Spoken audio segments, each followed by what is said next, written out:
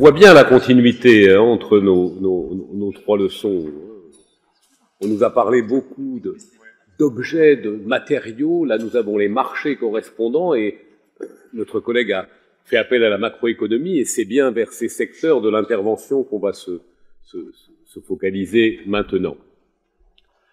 Alors, troisième, je vais y arriver, je pense là aussi peut-être, encore que c'est pas absolument sûr.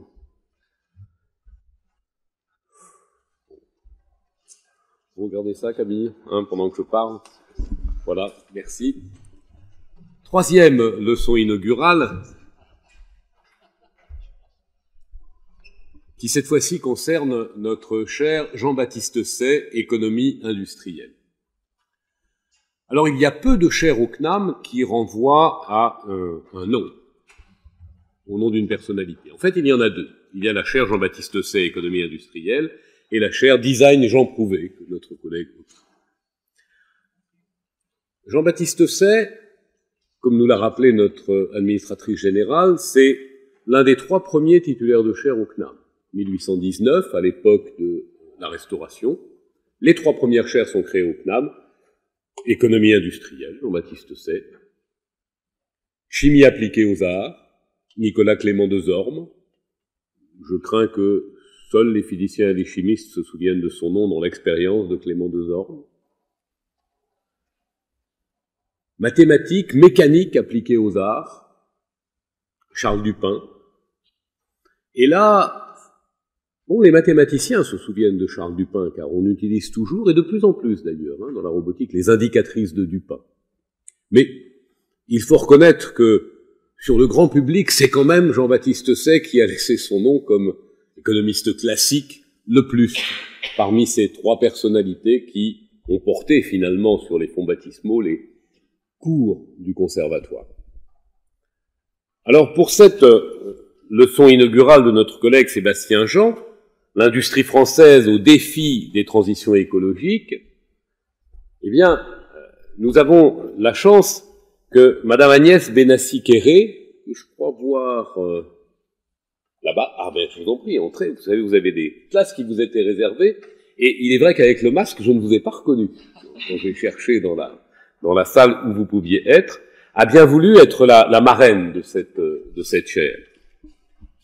Madame Benassi-Kéré, vous êtes euh, dans le staff dirigeant de la Banque de France, je crois qu'on dit sous-gouverneur, il y a encore des gouverneurs, des sous-gouverneurs là-bas, mais euh, en fait, vous êtes aussi, au départ, professeur d'économie à l'Université Paris 1, donc vous êtes des nôtres, ma chère collègue, si je peux me permettre de vous appeler ainsi, et euh, vous avez beaucoup travaillé en, en recherche et en pratique sur les questions macroéconomiques en Europe, la définition et les actions qu'on peut faire sur l'évolution du système monétaire, la façon dont fonctionne le système monétaire, en dirigeant alors une institution dont je suis euh, euh, obligé de parler parce que c'est vraiment le cœur à la fois de l'activité de Sébastien Jean et puis du vôtre, qui est le Centre d'études prospectives et d'information internationale. Alors, CEPI, CEPI 2, je ne sais pas comment vous l'appelez dans le jargon. Personnellement, je ne peut pas l'imaginer ni le deviner hein, au départ, mais euh, centre qui rassemble finalement une euh, grande partie des études correspondantes à la prospective sur ces questions économiques, macroéconomiques et d'intervention pour accompagner le développement industriel. Merci d'être là. Merci d'avoir bien voulu jouer ce rôle de parrainage. Je vous cède tout de suite la parole.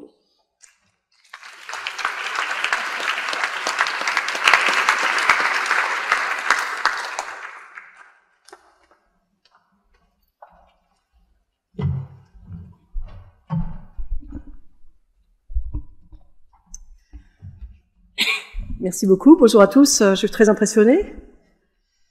Euh, je voudrais d'abord euh, remercier Sébastien de m'avoir proposé d'être sa marraine pour son entrée au Conservatoire national des arts et métiers comme professeur titulaire de la chaire Jean-Baptiste C d'économie industrielle. Je suis très touchée par cette attention. alors vous avez bien compris que le vrai parrain, ça n'est pas moi, c'est Jean-Baptiste C. Et euh, la loi de Say, que tout le monde connaît, euh, je cite, un produit terminé offre dès cet instant un débouché à d'autres produits pour tout le montant de sa valeur. Fermez les guillemets. Alors cette loi de C se comprend d'emblée en équilibre général. L'offre crée sa demande, mais pas dans le même secteur, dans un autre secteur. C'est de l'équilibre général. Et c'est dans ce cadre que Sébastien a déployé euh, ses travaux.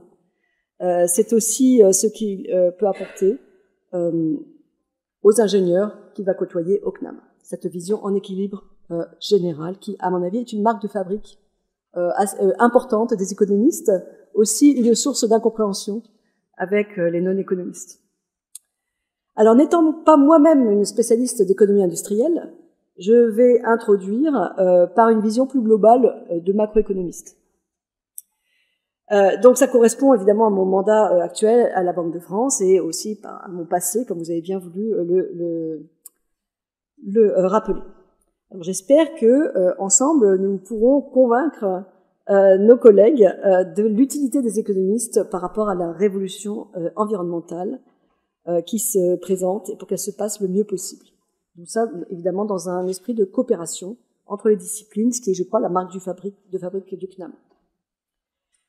Alors, je pense que tout le monde est convaincu ici, l'inaction n'est pas la solution, hein, et les économistes se sont d'abord employés à regarder, à essayer d'évaluer l'impact du réchauffement euh, sur l'activité. Donc là, il y a deux composantes. Une première composante qui correspond au risque dit chronique, donc l'élévation, l'élévation euh, de la température moyenne hein, sur la planète. Euh, l'impact sur le PIB est négatif sur le niveau via donc directement hein, via une destruction par exemple du capital ou via une baisse de productivité ou via une détérioration de la santé, ce qui a été bien documenté par la recherche économique. L'impact pourrait être négatif mais transitoire sur le taux de croissance. À long terme, c'est pas totalement évident que le taux de croissance baisse mais par contre le niveau du PIB pourrait baisser de manière drastique. Donc le réseau international des banques centrales et des régulateurs pour le verdissement du système financier, NGFS, euh, a évalué récemment à moins 18% euh, l'impact euh, du réchauffement climatique, c'est-à-dire absence de mesures supplémentaires par rapport à ce qui existe aujourd'hui sur le PIB de la planète, moins 18%, sur juste cette partie risque chronique. Il faut rajouter à cela les risques aigus, donc les risques de catastrophes naturelles, les vagues de chaleur, sécheresse, cyclones, inondations. Et donc là, il faudrait rajouter de l'ordre de 2%. Mais en fait, c'est pas tout à fait la fin parce que ces catastrophes, à leur tour, euh, peuvent entraîner d'autres catastrophes sociales et politiques, euh, migration, euh, conflits, etc.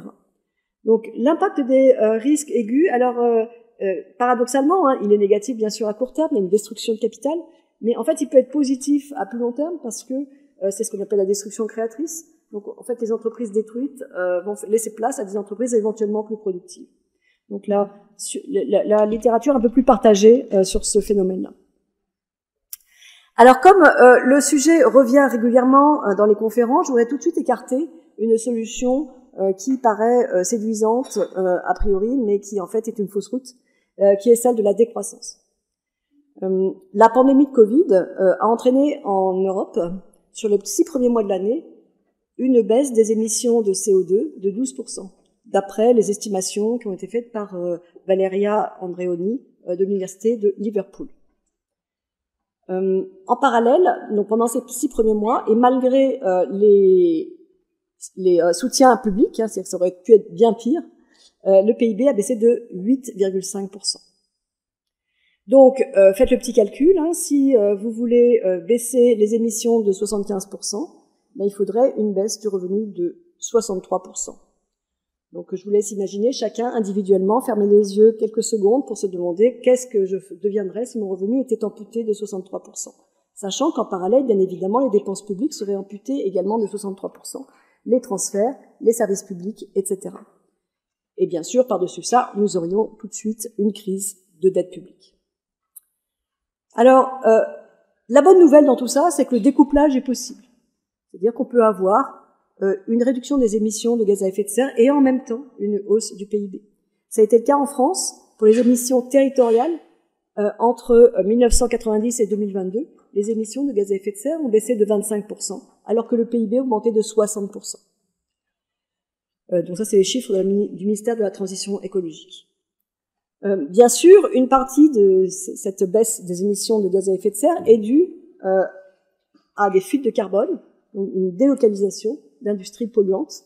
Mais aujourd'hui, d'après toujours ce même ministère, euh, les, les, émissions importées représenteraient à peu près la moitié de l'empreinte carbone. Donc, ce n'est pas la totalité de l'explication. Alors, maintenant que nous avons écarté euh, cette euh, fausse piste, euh, je voudrais euh, discuter avec vous un peu l'impact de la décarbonation de l'économie sur eh justement cette économie.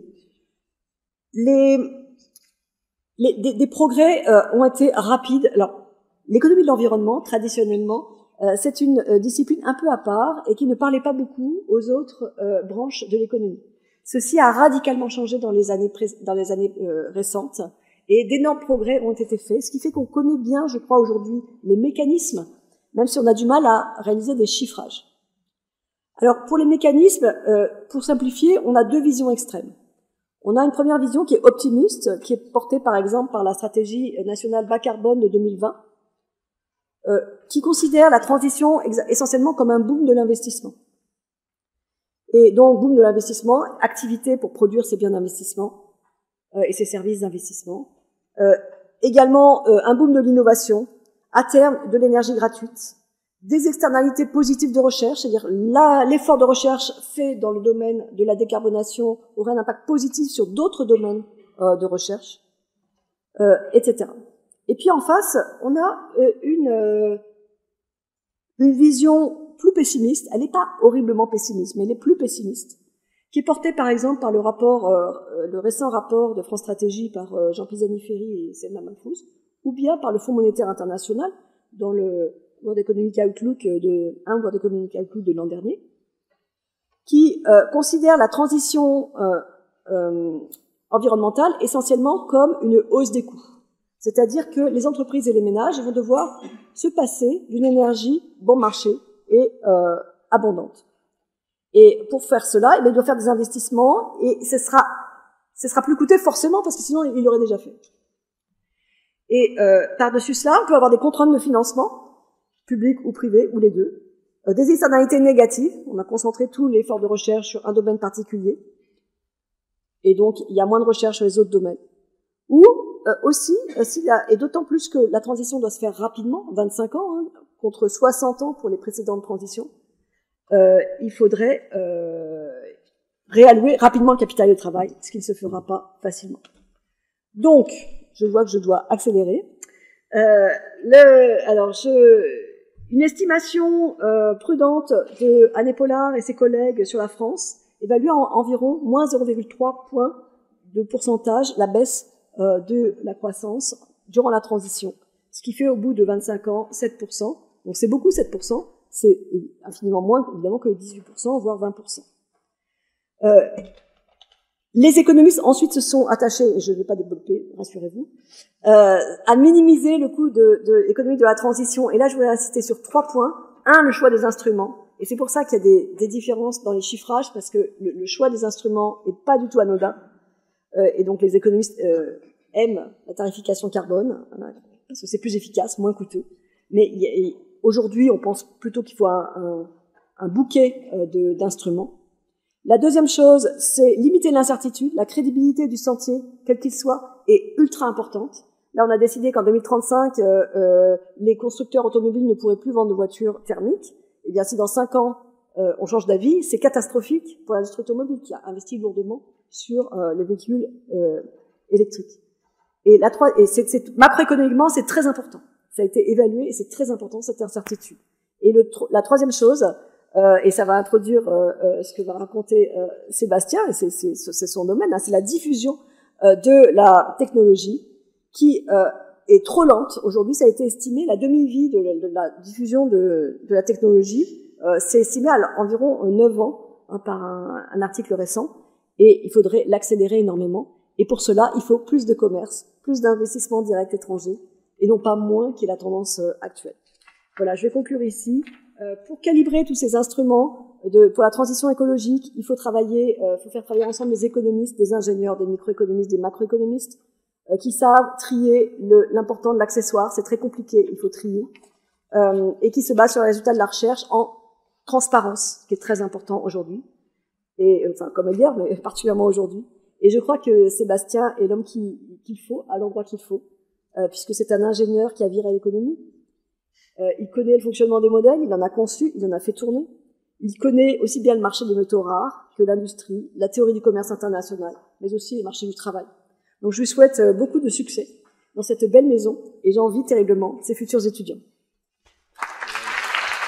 Je crois que vous nous avez convaincus, et, Sébastien Jean va le faire euh, sans doute encore, de voir combien nous, nous, gagnons à écouter les anciens directeurs, puisque vous êtes l'un et l'autre, anciens directeurs de ce centre, du Centre d'études prospectives et d'information internationale, pour nous mettre en perspective tous ces, tous ces enjeux liés à, à, à la transition euh, écologique. Je passe tout de suite la parole à Sébastien Jean. Juste une remarque sur, euh, si tu permets, ton curriculum vitae. Depuis 1991, date de ta sortie de l'école centrale, tu portes en fait à l'école centrale le titre d'ingénieur économiste. Et je crois que c'est assez original dans le panorama français d'avoir cette double appellation ingénieur économiste. Je crois même que c'est quasiment original à l'école centrale à cette époque-là. Et ça préfigure bien le fait que tu sois parmi nous aujourd'hui sur cette chaire Jean-Baptiste Say, économie industrielle.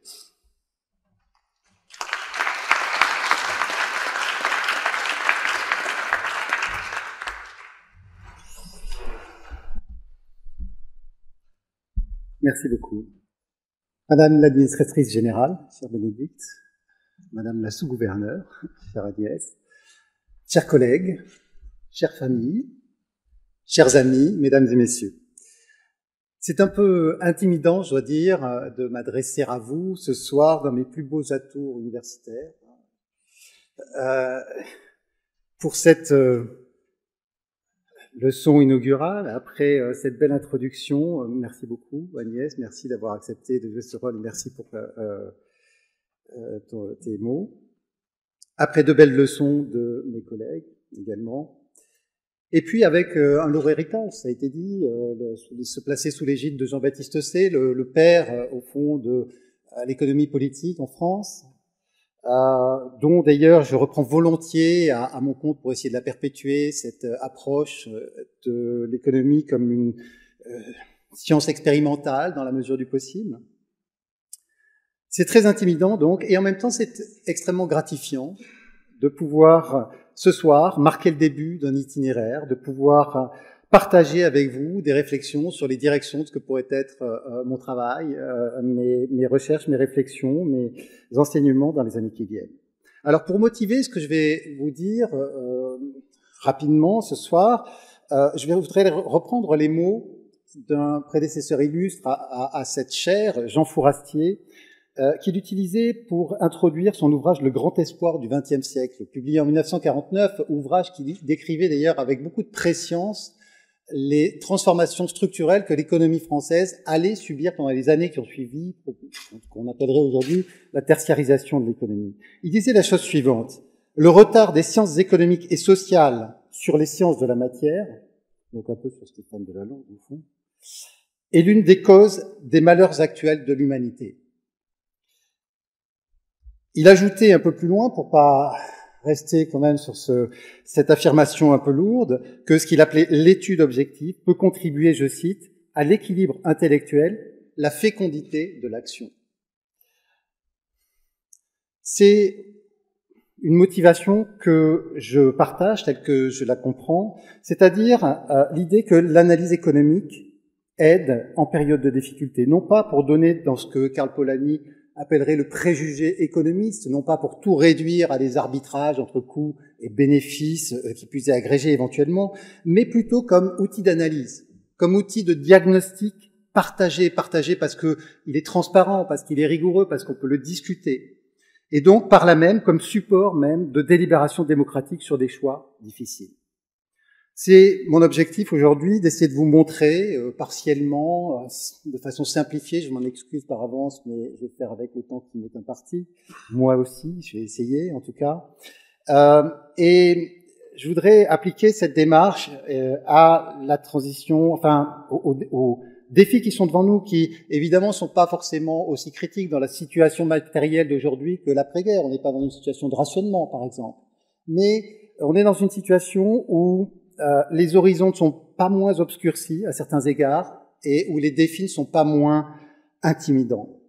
Évidemment, le premier de ces défis, c'est la transition écologique qui motive, qui réunit cette soirée urgente pour faire face à ce qui est une crise existentielle de notre civilisation. Mais c'est aussi euh, le défi de la souveraineté, alors que la guerre de haute intensité est de retour en Europe, à nos portes. Et c'est enfin le défi de la prospérité partagée, à un moment où la croissance ralentit, à un moment où l'instabilité économique et financière menace épisodiquement, à un moment également où les crises secouent régulièrement le, corps social. Donc, je voudrais essayer d'éclairer rapidement ce soir comment les défis euh, se présentent pour l'industrie dans ce contexte de transition. Rapport après rapport, ça a été dit, euh, trop peu a été fait en termes de transition jusqu'ici. Et on voit d'ailleurs se manifester les, manifestations déjà du, changement climatique. Trop peu a été fait, il faut accélérer. Pour la France, la feuille de route de cette accélération, c'est ce qui s'appelle la stratégie nationale bas carbone, dont la troisième édition va bientôt euh, être publiée d'ailleurs. Ce que dit cette euh, feuille de route, c'est qu'il faut considérablement accélérer nos efforts. Est-ce que c'est d'un facteur 2,5, 3, 4 Ça dépend de la, la période qu'on prend, des références qu'on prend, mais il faut considérablement accélérer. Ce que dit également, euh, s'agissant de l'impact économique, le rapport euh, Pisani-Ferry et Mafous que tu as cité, Agnès, euh, c'est qu'il faut faire un effort considérable d'investissement, au moins deux points de PIB par an pour la décennie à venir. Et que cet effort, il sera coûteux parce que ces investissements, ils sont pas destinés à nous enrichir immédiatement, ils sont destinés à baisser les émissions, donc ils ne sont pas toujours aussi productifs. Ce sera coûteux économiquement et socialement. Ce qu'il faut bien réaliser, je crois, et je voudrais insister là-dessus pour commencer, c'est que la transition qui est devant nous est brutale. Pour l'illustrer, je trouve utile de regarder dans le long terme à quoi ressemble le mix énergétique au niveau mondial. Vous l'avez sur ce graphique sur deux siècles. Et ce que vous voyez, c'est que ce mix, il a été transformé les énergies qu'on utilise, elles ont été transformées. C'était principalement du bois. Euh, euh, c'est aujourd'hui beaucoup d'autres choses, mais ça a pris beaucoup de temps. Même la substitution du pétrole au charbon, qui est le changement le plus rapide ici, il a pris une quarantaine d'années. Qu'est-ce qu'il faut faire maintenant? Qu'est-ce qui se présente devant nous? Michel Audiard dirait c'est du brutal. Vous le voyez dans ce rectangle rouge. Hein, si, comme ça m'arrive parfois, je suis le cycliste là qui est sur le sentier de montagne, on voit assez bien où est-ce qu'il va se casser la figure. Hein. Et donc, c'est le sentier qu'on a devant nous. C'est un défi extraordinaire. C'est-à-dire qu'en 30 ans, il faut changer du tout au tout la composition de l'énergie au niveau mondial. Hein. Donc, il faut être conscient du caractère euh, sans précédent historique de défis auxquels euh, nous sommes confrontés. Alors, quel est le, rôle de l'industrie dans cette euh, transition? Euh, le, Ce rôle, il est double. Je vais aller assez vite et je vais pouvoir euh, le faire notamment grâce à mes collègues qui ont très bien éclairé beaucoup des aspects euh, de, de, ces rôles. Mais il faut bien comprendre qu'il y a une spécificité de l'industrie, c'est qu'elle a deux rôles. Non seulement elle doit se décarboner elle-même, hein, évidemment, parce qu'il n'y a pas de meilleur symbole à la pollution que la grosse cheminée de hauts fourneaux qui crache une, une, une grosse fumée, de préférence épaisse et noire. Et de fait, l'industrie, c'est un sixième de nos émissions de gaz à effet de serre. Et elle doit aussi produire les outils de la décarbonation des autres secteurs. Hein, donc, elle ne peut pas se contenter de s'occuper d'elle-même. Au fond, elle doit aussi euh, euh, s'occuper des autres. Alors, sans, rentrer dans le détail, il faut quand même souligner que l'industrie s'est déjà beaucoup transformée. C'est même le secteur de l'économie qui s'est de loin le plus rapidement décarboné au cours des dernières décennies. Elle a divisé ses émissions par deux euh, depuis 1990. Vous me direz, une partie est, liée à son affaiblissement, à la désindustrialisation, c'est vrai, mais pas seulement. Si on, si on raisonne en termes d'intensité énergétique, c'est-à-dire consommation énergétique par unité de valeur ajoutée, on a aussi une division par, presque par deux depuis 1990. Donc, il y a eu une, une, un effort déjà très rapide de décarbonation de l'industrie. Eh bien, le défi qui est maintenant devant nous, c'est qu'il faut multiplier la vitesse de décarbonation par trois euh, dans les années qui viennent. Là encore, on voit le caractère vraiment extraordinaire du défi auquel nous sommes confrontés. Ensuite, il faut produire les outils de la décarbonation. je vais pas, j'ai gagné un peu de temps en n'entrant pas dans le détail. Ça a beaucoup été expliqué sur les, énergies, le déploiement de sources d'énergie décarbonées euh, renouvelables, nucléaires, euh, réseau et stockage également, transformation des usages, qu'il s'agisse du logement et du transport. Il y a un défi extraordinaire, évidemment. L'industrie, elle a également deux spécificités que je voudrais souligner, euh, parce qu'elles sont, je crois, elles lui donnent un rôle particulièrement important dans cette transition. Spécificité, d'abord parce que c'est un secteur absolument structurant structurant pour l'innovation, parce que l'industrie, c'est 70% des dépenses privées de recherche et développement en France. Structurant socialement, parce que l'industrie propose des rémunérations au-dessus de ce qui se fait ailleurs, en particulier dans le secteur non marchand, et en particulier pour les classes moyennes, pour les qualifications intermédiaires. Structurant également pour les territoires, parce que dans beaucoup de régions en France, euh, c'est l'industrie qui est le poumon euh, de l'activité, étant donné sa répartition sur le territoire. Et puis la deuxième caractéristique très spécifique à l'industrie, c'est que c'est le lieu de rencontre international des stratégies. C'est au fond le miroir de nos incohérences au, euh, au, niveau international. Pour deux raisons essentielles. La première, c'est ce qu'on appelait autrefois la contrainte extérieure. Est-ce que nos stratégies, telles qu'elles ont été définies, sont, euh, passent le test de la soutenabilité financière, euh, étant donné les échanges qui sont principalement, qui sont d'abord et avant tout des échanges de produits industriels? Ça, c'est la première dimension. La deuxième, et je pense qu'on insiste plus aujourd'hui dessus qu'on ne ne l'aurait fait il y a quelques années, c'est celle de la capacité matérielle. L'industrie est la base de notre capacité matérielle, et notre capacité matérielle est le fondement de notre souveraineté. Étant donné les enjeux que j'ai décrits tout à l'heure, de tension, de guerre, euh, c'est une dimension qui est qui est évidemment très importante et dont l'importance euh, euh, mérite d'être particulièrement soulignée aujourd'hui.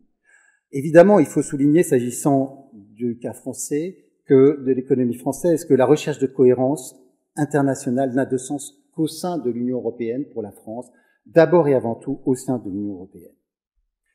Alors, ça c'était la place de l'industrie dans la transition. Maintenant, qu'en est-il de l'évolution de la transition dans l'industrie elle-même? Il y a beaucoup à dire, mais je voudrais souligner deux éléments principaux. Le premier, c'est que dans toutes les transformations que doit faire l'industrie, il y a un certain nombre de mécanismes communs. Elle s'appuie en particulier sur deux éléments communs, l'innovation et l'investissement. L'innovation, il ne s'agit pas de sombrer dans une sorte de solutionnisme high-tech par rapport au, au, défi du changement climatique, mais l'innovation d'abord parce que les outils technologiques dont nous avons besoin pour affronter euh, la transition écologique ne sont pas encore tous au point, n'existent pas tous encore ou ne sont pas encore suffisamment au point. On a besoin de, j'allais dire de savants fous, mais de, savants comme euh, Stéphane et ses collègues et beaucoup d'autres encore. On a besoin également d'investissement parce que, pour reprendre la, formule du, rapport Pisani-Federi-Mafouz, une bonne partie des mécanismes sous-jacents à la transformation de l'industrie, à sa décarbonation, c'est la substitution de, de, capital aux industries fossiles. On brûlait de l'essence, ben à la place, on investit pour fabriquer une éolienne qui elle-même va produire de l'électricité.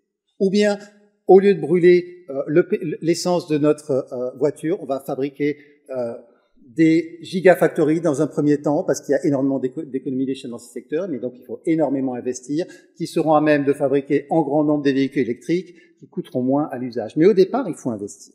Donc on a un besoin gigantesque de capital, et j'ajoute, parce qu'évidemment c'est important aussi, de capital humain. Hein, le, le capital financier, physique et le capital humain seront les, le carburant euh, de, ce, sentier euh, escarpé de la transition euh, écologique. quel est le... Enfin, bon, je dois ajouter, parce que il faut le mentionner, il faut toujours le rappeler, que c'est également une évolution extrêmement coûteuse. Euh, coûteuse parce que ça suppose également que beaucoup d'actifs vont devenir ce qu'on appelle des actifs échoués, c'est-à-dire finalement comme un bateau qui serait échoué avant d'avoir navigué tout ce qu'on attendait de lui, disons, des activités qui perdent leur utilité avant d'être arrivés au terme de leur vie économique, entre guillemets, normale. Alors, Quel est le, le bilan de cette transition dans l'industrie aujourd'hui? Le bilan, c'est avant tout celui d'une révolution industrielle et commerciale qui est en marche, qui est déjà en marche, j'allais dire.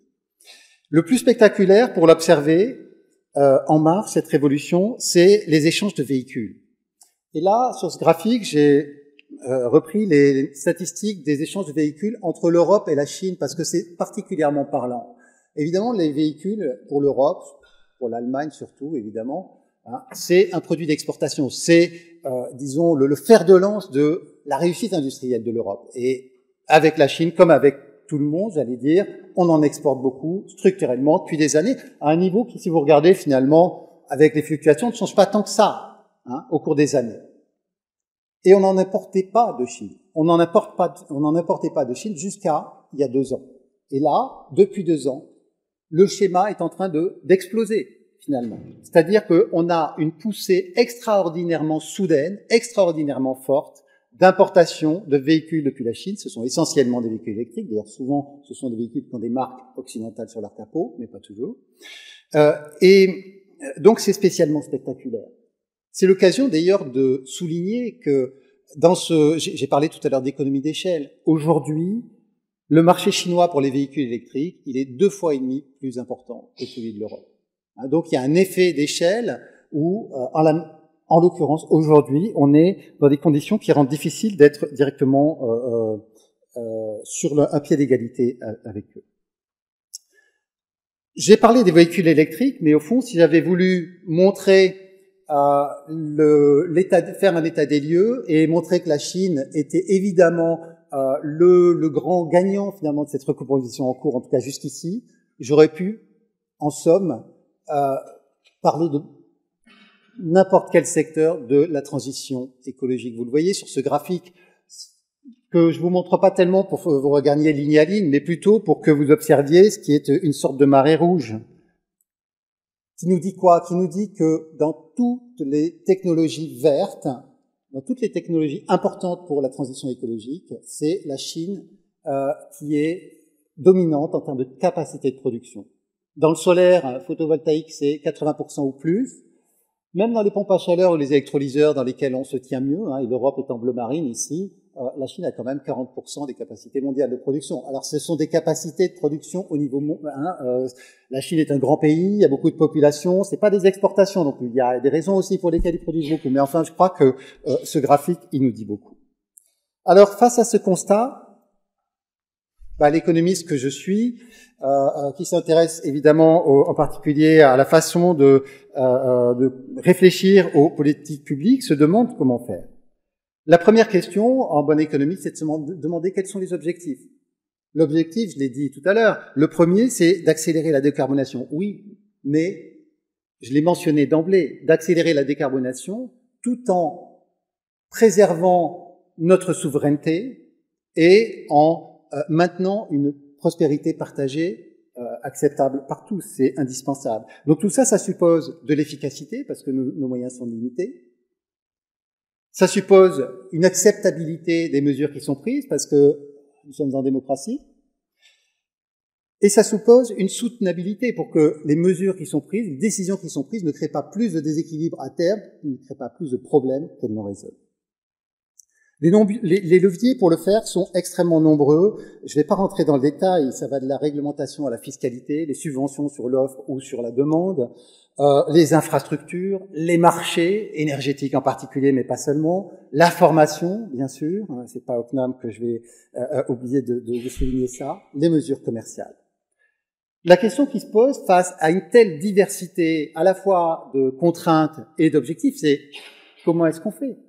Comment est-ce qu'on opère le ciblage de l'action publique devant une telle complexité du, du problème? La première réponse des économistes, et Agnès en a parlé un peu tout à l'heure, c'est de dire il faut mettre un prix sur le carbone. Parce que finalement, c'est ça l'externalité, pour parler un langage d'économiste, c'est ça le problème qu'on cherche à résoudre. On émet trop de carbone, et donc il faut mettre un prix dessus. C'est un outil important, c'est un outil efficace, euh, c'est un outil qui peut guider, qui, qui, a le grand mérite de la simplicité, qui guide l'investissement. C'est un outil qu'on utilise abondamment en Europe au travers du système d'échange de quotas d'émissions pour l'industrie, qu'on va étendre en 2027 au, au, logement et au transport, c'est par la taxe carbone également en France. Mais c'est un outil qui n'est pas suffisant. Et ça, je crois que euh, euh, il y a de plus en plus euh, un certain consensus là-dessus. C'est un, état, un, outil qui n'est pas suffisant parce qu'on a besoin de l'État pour créer des marchés, parfois pour soutenir la recherche fondamentale, pour soutenir la formation, pour financer les infrastructures, pour aussi se lancer quand il y a une incertitude radicale à laquelle le secteur privé ne peut pas, ne sait pas faire face. C'est pas suffisant non plus parce que euh, la question, elle va au-delà de la fiscalité, elle est multidimensionnelle et euh, euh, l'épisode des, Gilets jaunes, par exemple, nous a bien montré à quel point il était très important de prendre en compte beaucoup d'autres critères de nature sociale, politique, voire territoriaux. Alors que peuvent les, les, les économistes pour, et les analyses économiques pour aider à ce ciblage? Eh bien, Ils offrent quand même, je crois, des instruments qui sont euh, extrêmement utiles pour guider l'action publique, qui s'appellent valeur de l'action pour le climat et coût d'abattement.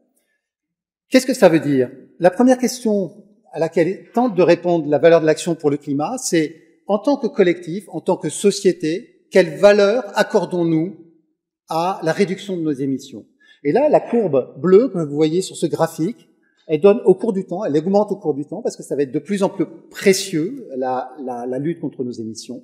Elle donne la valeur que socialement on devrait lui donner, en tout cas d'après ses estimations.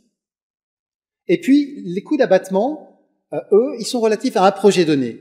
Quand je fais un projet, quand je remplace une voiture thermique par une voiture électrique, par exemple, je peux calculer combien ça a coûté en euros par tonne de carbone évité.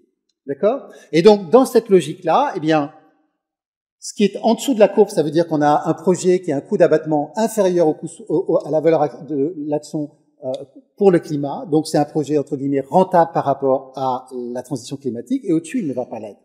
Alors, il ne s'agit pas de dire que c'est une vérité, on peut très bien, et on doit même contester ces travaux et d'autres. Ceux-là, en l'occurrence, sont issus de la commission Criki, et ils sont extrêmement sérieux, extrêmement bien étayés, et issus, qui plus est, d'un processus collectif dans la durée.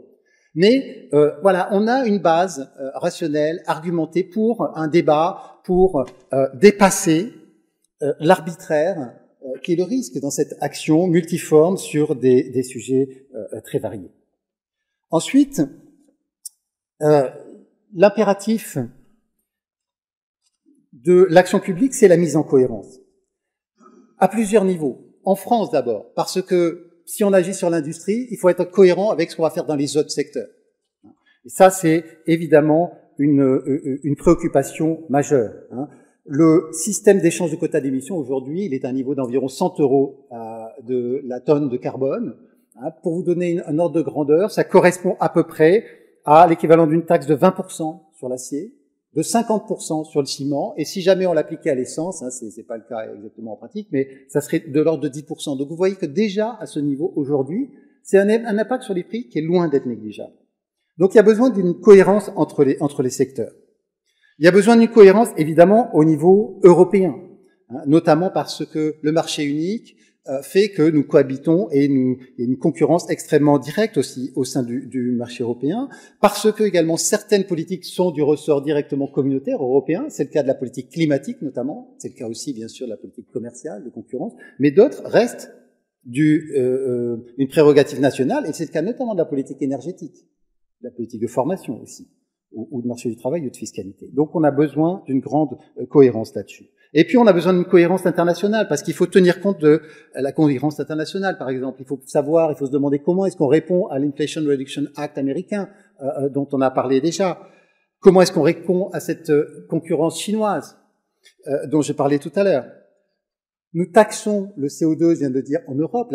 nos grands partenaires et concurrents le subventionnent. Donc, qu'est-ce qu'on fait par rapport à ça? La réponse qu'on donne pour l'instant, ça s'appelle le mécanisme d'ajustement carbone je pense qu'au fond, et sur des bases économiques, c'est une bonne réponse, mais il est indispensable qu'il soit mis en œuvre, qu'il soit mis en œuvre rapidement et aussi complètement possible, même si c'est une source de tension et de complexité.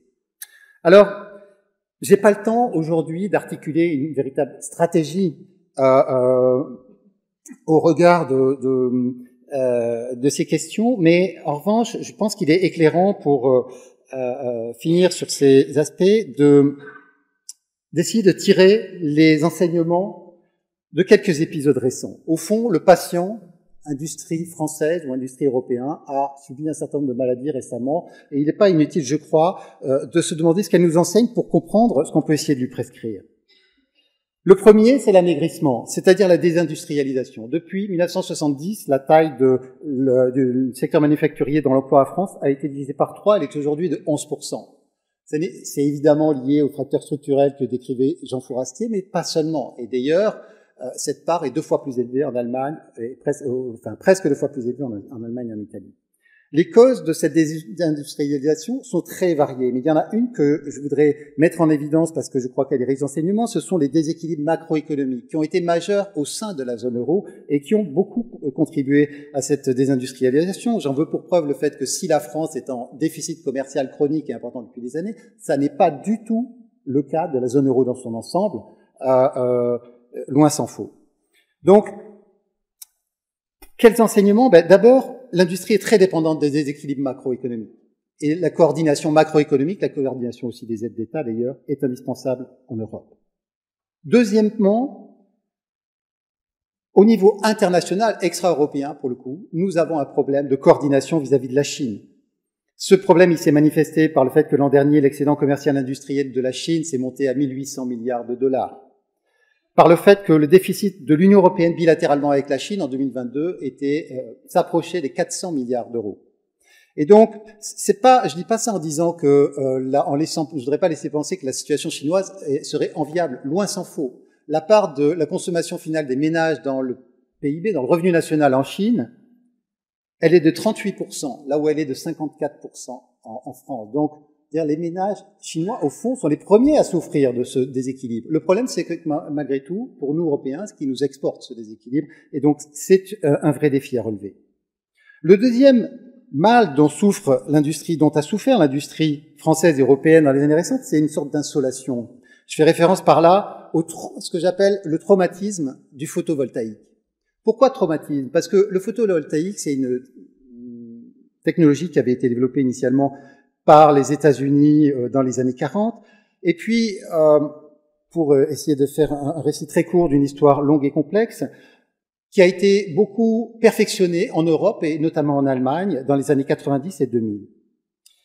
On a identifié ce secteur comme étant très porteur, très prometteur en termes de transition écologique, et donc on a voulu le soutenir. Comment on a fait ça? En garantissant des tarifs de rachat d'électricité relativement élevés, c'est-à-dire en subventionnant la demande. Ce qui a bien marché d'ailleurs à l'époque. Mais dans le même temps, ce qui s'est passé, c'est que la Chine a investi massivement dans le secteur, à partir de 2004 euh, en particulier. C'est bon, enfin, je, je, passe sur des détails d'une façon opaque, d'une façon qui n'est pas forcément facile à analyser en détail, mais qui est indubitable. Le résultat, quel est-il? À partir de 2011 en particulier, des surcapacités très importantes, des baisses de prix massives, des restructurations, des rachats. Et dans le même temps, des gains de parts de marché extraordinaires de la Chine, qui devenait d'un acteur relativement secondaire, un acteur dominant sur la plupart des, entre 65 et 85% de parts de marché au niveau mondial dès 2011, dans la plupart des secteurs, sauf le polysilicone, le secteur le plus sophistiqué de la, filière. La réponse qu'on a eue, euh, nous Européens, un an après les États-Unis d'ailleurs, ça a été de mettre des barrières commerciales anti-dumping. Trop tard au fond, j'ai envie de dire, évidemment trop tard. Euh, les, les, les, Chinois y ont répondu eux-mêmes par des représailles. Euh, mais finalement, euh, ça s'est traduit par un accord amiable sur les prix. Et le résultat, c'est qu'aujourd'hui, la suprématie chinoise est évidente, elle est maintenue, c'est une situation de quasi-monopole, au point d'ailleurs que ça devient un outil de, de pression des Chinois sur, euh, sur nous potentiellement. Quelle conclusion je tirer de ça? Deux essentiellement. La première, c'est que l'ouverture commerciale affaiblit quand elle est maintenue face à des subventions massives. Euh, la deuxième, et elle, est, elle, montre aussi la complexité du sujet, c'est que c'est un exemple extrêmement parlant de l'efficacité de la division internationale du travail. Et ça, euh, on le voit sur ce graphique. Ce graphique, c'est ce qu'on appelle une courbe d'apprentissage, c'est-à-dire il montre comment une technologie baisse en prix au fur et à mesure qu'elle est déployée. Et ce que vous voyez ici, c'est que la technologie qui a le mieux réussi dans sa courbe d'apprentissage à se développer et à baisser en termes de prix de génération de l'électricité, c'est le solaire, Donc, c'est euh, euh, une sorte de, leçon amère, si je puis dire. euh, on serait tenté, on peut d'ailleurs l'interpréter en disant que c'est la Chine qui a subventionné notre développement technique dans ce domaine. Ce que ça montre, c'est aussi que ces gains de production, ces gains de productivité, d'efficacité, ils sont appropriables. Et aujourd'hui, ils ont été appropriés par la Chine. C'est-à-dire que nous, on peut plus revenir comme ça du jour au lendemain et être performant sur ce secteur. Et c'est la raison pour laquelle aujourd'hui, euh, on doit se poser des questions et pour laquelle cette stratégie n'est pas soutenable sur l'ensemble des secteurs. Évidemment, quand je mets en avant ce, cet exemple, aujourd'hui, j'ai en tête euh, les véhicules électriques parce que c'est le gros enjeu, euh, l'un des gros enjeux, en tout cas peut-être même le principal aujourd'hui, auquel on fait face en termes commerciaux. Et puis, le, le troisième mal de l'industrie européenne, c'est l'asthénie, le manque d'énergie. Le manque d'énergie qui s'est manifesté évidemment pendant la guerre d'Ukraine. Ça a été un choc majeur, euh, la guerre d'Ukraine, sur les marchés énergétiques. Un choc violent, d'autant plus qu'il a été instrumentalisé. Un choc qui a donné des différentiels de prix, au fond, qu'on n'imaginait même pas avec euh, une énergie sept fois plus chère euh, en, Europe qu'aux États-Unis sur une durée de, de, de, plusieurs semaines, voire plusieurs mois. Et puis des questionnements. Est-ce que l'Europe est appelée à devenir un continent sur lequel l'énergie serait structurellement plus chère que dans le reste du monde, avec toutes les conséquences que l'on connaît sur l'industrie? L'industrie, en l'occurrence, l'industrie européenne, elle s'est adaptée, c'est vrai, et en même temps, on a pu mesurer, et ça a été étudié par plusieurs de mes collègues, euh, le fait que les impacts sur la compétitivité sont massifs. Donc oui, on peut s'ajuster, mais le dommage sera très important. Quels sont les enseignements? Euh, Le premier, c'est que les tensions géopolitiques et la transition, euh, la perspective de la transition, rendent les marchés énergétiques plus imprévisibles. Dans le même temps, les chocs énergétiques eux-mêmes deviennent plus régionalisés et notamment parce que le pétrole est, appelé à jouer un, un, rôle moins important au niveau mondial. Le pétrole, ça se transporte très bien. Ça veut dire que finalement, le prix du pétrole, il diffère un peu d'une place à l'autre dans le monde, mais pas tant que ça. Pas autant que le gaz, par exemple. Donc, on est dans une situation euh, de, de, risque, on est dans une situation aussi vis-à-vis -vis de laquelle l'Europe est structurellement fragile, à la fois parce qu'elle est importatrice nette et parce qu'elle n'a pas su mettre en place, jusqu'ici, en tout cas à l'échelle du continent, de vision stratégique de long terme de sécurisation des approvisionnements. Et donc, c'est une responsabilité, je crois, majeure de l'État, des décideurs publics et de l'Europe d'ailleurs, euh, d'organiser euh, la réforme du marché électrique, par exemple, et puis surtout la sécurisation euh, de la disponibilité d'une énergie décarbonée à des prix relativement stables et prévisibles à l'échelle européenne. C'est un défi extraordinaire, mais c'est un défi fondamental, y compris pour l'industrie. J'en conclus. En quelques mots, euh, je suis pas le médecin de la famille, alors je suis pas placé pour faire les prescriptions. Et puis, euh, j'ai, je l'ai souligné tout à l'heure, les éléments que je peux essayer de, de mentionner aujourd'hui sont loin de constituer une stratégie. Mais je veux quand même, juste pour conclure, souligner quelques éléments. D'abord, j'espère vous avoir convaincu que dans ce formidable défi qui est devant nous de la transition, l'industrie est un élément parmi beaucoup d'autres. Un élément parmi un défi social qui n'est pas du tout seulement économique, il est social, il est politique, avant d'être économique. Mais c'est un élément clé, c'est un élément structurant. Deuxièmement, c'est un chemin acrobatique et coûteux qui est devant nous. Et je pense qu'il y a aussi une responsabilité à reconnaître le caractère euh, extrêmement euh, difficile finalement de la, transition qui se présente devant nous. Le troisième point, c'est que face à cette transition, pour l'industrie plus que pour tous les autres secteurs, on a un formidable besoin de cohérence. En France, au sein de l'Europe et au niveau mondial, parce que il n'y a qu'au niveau mondial qu'on peut résoudre le problème du changement climatique.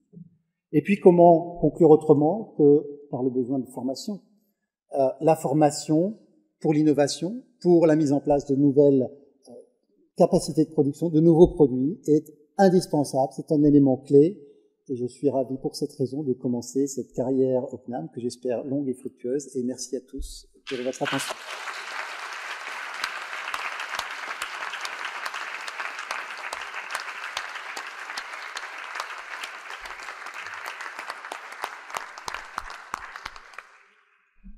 Merci pour euh, cette leçon magistrale. Notre administratrice générale va maintenant remettre à nos trois nouveaux professeurs les, la médaille du CNAM, celle que vous voyez au cou de certains d'entre nous, Ce qui veut dire qu'ils ont fait dans le temps une leçon inaugurale à un moment donné et qu'ils ont reçu cette médaille. Alors je vous rassure, d'autres n'avaient pas compris qu'ils devaient aussi la porter ce soir, mais ils la porteront demain. Hein. Donc si vous voulez bien venir tous les quatre.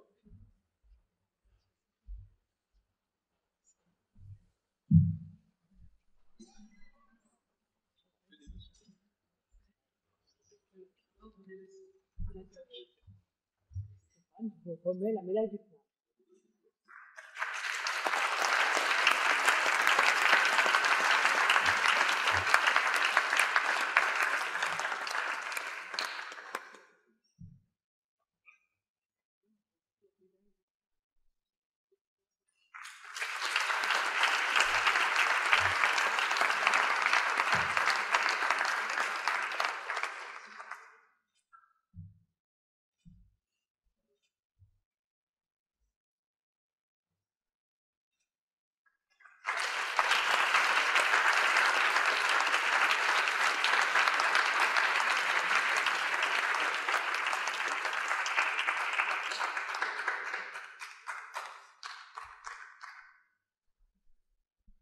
Alors, après ces magnifiques leçons, je crois qu'il est temps d'aller boire un verre. Vous êtes tous invités à la salle des textiles. Vous trouverez facilement le chemin si vous ne connaissez pas. Et à tout de suite.